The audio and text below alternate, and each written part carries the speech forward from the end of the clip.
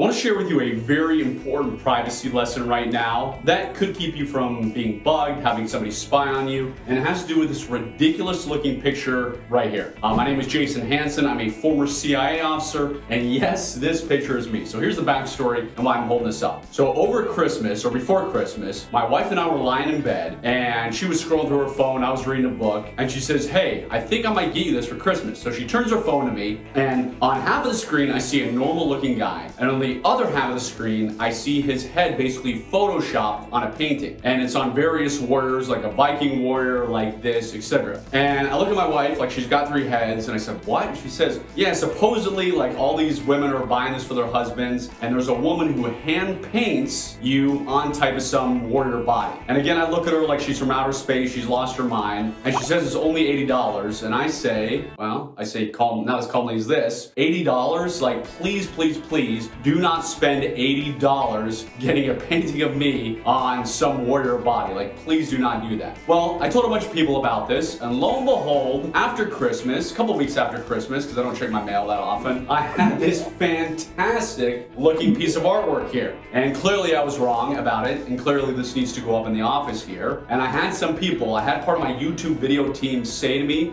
like, you're not really gonna hang that in your office, are you?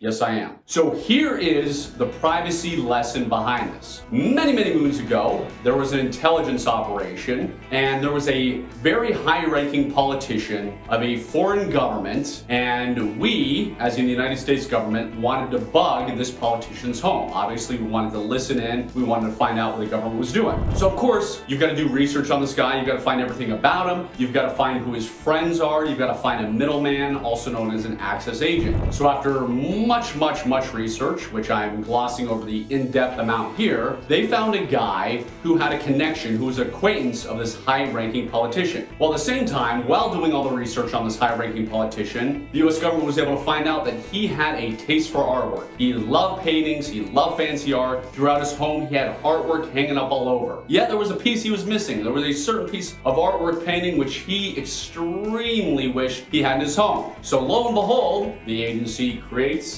the agency, the government, somebody, creates a this piece of artwork that this guy wants, and the acquaintance of the high-ranking politician, stay with me, goes to him one day and says, hey, I know you love art. I was able to get this wonderful piece of art. Do you want it? The politician's eyes light up. He says, absolutely. I've been looking for this. The acquaintance gives the politician the art, and he takes it and he hangs it up in his home. Now, of course, as you know, there's more to the story. Inside that artwork was a bug, a listening device. So when this politician in his own home, in his own country hung up the piece of artwork that his acquaintance had given him. Since there was a listening device in it, the US government was able to listen in on a bunch of this politician's conversations and get some very valuable intelligence to help the United States of America. So what's the moral of the story? Well, there's many. One is, when somebody gives you a painting, you want to check and make sure it's not bought. I've not done so yet with this because I just received it, but you better believe I will because yes, I'm that paranoid. So I will of course check all around. First, thing, run my fingers around it, uh, but then I will do a much more thorough thorough check and make sure that embedded in the wood back here, there's nothing embedded, no type of listening devices. Because I don't know who this gave this to me. I think I know who gave this to me, but I don't know 100% uh, sure. I know it's one of my readers, uh, just not exactly sure. So that is the first lesson. Be careful you get a painting. The second lesson is be careful when you get any gifts. If somebody gives you something, especially if you have a high-ranking type of job, whether it's the US government, whether it's big tech, Facebook, YouTube, Amazon, etc., make sure that gift is not I've had many gifts given to me over the years, and obviously you don't know the intention, you don't know what's behind them, so you want to check them, you want to have your, your security team check them thoroughly to make sure there's nothing there. Also, remember, the US government likes to do this type of stuff, so for some reason they may be on to you, may not that you're doing anything illegal, because if you're doing something illegal, you should be caught. But if for some reason you're worried about your privacy whatever, be careful of what you bring into your house, be careful what somebody gives you. Also, don't have those Alexas, don't have those Google Voice Assistants, don't have those things inside your home. That is the world's easiest listening device to place because you brought it inside your own home, which is the reason I have zero smart, uh, smart speakers